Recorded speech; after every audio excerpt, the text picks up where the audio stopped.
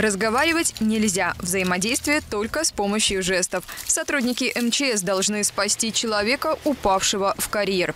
Такова легенда в рамках республиканских соревнований сотрудников Министерства по чрезвычайным ситуациям, которые принимала Могилевщина.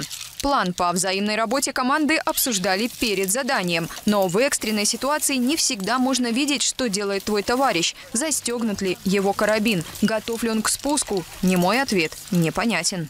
Банальные жесты крест или привлечь внимание, они здесь играют особо важную роль.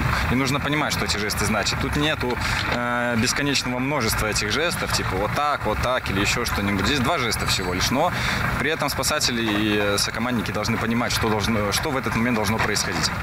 В соревнованиях участвовали 54 бойца. За ними наблюдали 40 судей. Первую ночь участники спали в палатках, вторую не спали совсем.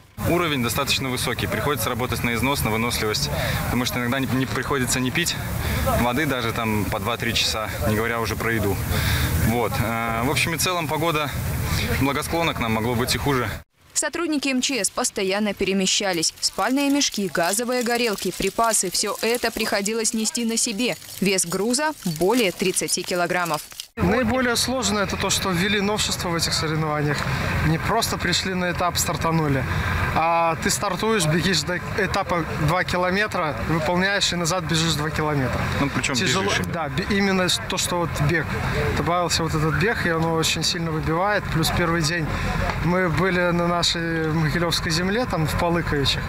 Там рельеф перепада высот до 50 метров, и по этим склонам бегать это просто ну, невыносимо.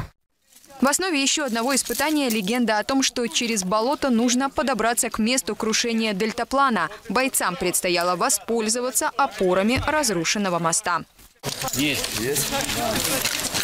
На выполнение задания отводился один час. В реальной жизни это максимальное время, за которое можно успеть спасти жизнь человека. Данные соревнования традиционные. Они направлены именно на проявление выносливости и способности работать э, в стрессовых ситуациях. В целом бойцы прошли пешком 70 километров, жили в полевых условиях и выполнили около 60 технических испытаний. По итогам соревнований победителем стала команда Могилевского областного управления МЧС.